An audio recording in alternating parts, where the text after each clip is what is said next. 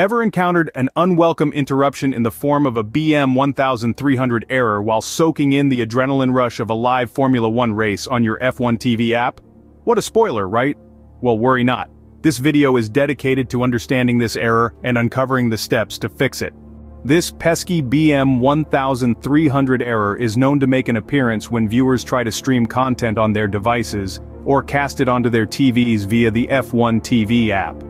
It seems to pop up due to temporary issues with the F1 TV app itself, or issues within the F1 TV system. So, how do we fix it? Here's a list of potential solutions. Firstly, if this error shows its face during a live broadcast, simply quit the app and restart it. If the error persists, try rewinding 10 seconds. If that makes the error vanish, then feel free to continue watching the live broadcast from 10 seconds behind. Secondly, ensure that the F1 TV app is up to date. If it isn't, consider updating the app, and then check to see if the error is still there. Thirdly, ensure that your internet connection is strong, stable, and fast. A weak connection could be the culprit behind the BM 1300 error.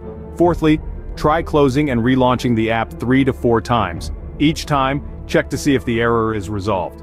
This might sound like a tedious task but some users have reported success after multiple attempts.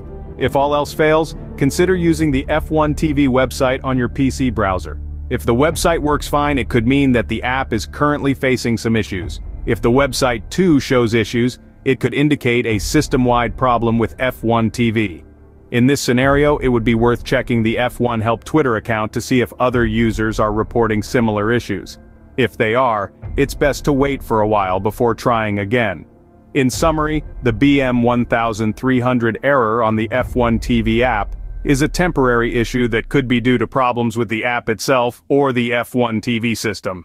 The potential fixes include restarting the app, ensuring that it's up to date, checking your internet connection, relaunching the app multiple times, and trying the F1 TV website. If these don't work, it's possible there's a system-wide issue with F1 TV, in which case, one should wait and try again later. So the next time you encounter the BM 1300 error, remember these steps and get back to enjoying your race. If you like this information, don't forget to subscribe, and for more tech updates visit quaries.com.